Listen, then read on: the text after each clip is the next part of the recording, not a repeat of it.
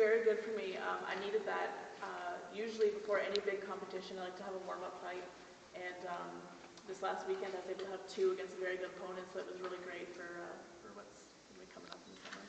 Mary, have you had a chance to review the, the tape from that bout in China? Have you figured out what went wrong there?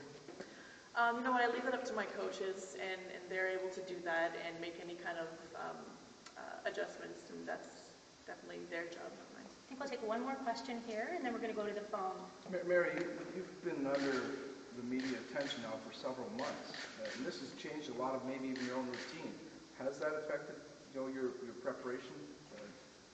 Well, I'm always one to, um, to look ahead and make preparations, um, for what's to come. And, I mean, years ago, I saw this coming, and years ago, I made that mental adjustment of, um, you know, getting ready for it. And so, it, it's not anything that's really just, just come out of nowhere. Um, it's been thought about and, and pre-planned for sure. Okay, I think now we'll go to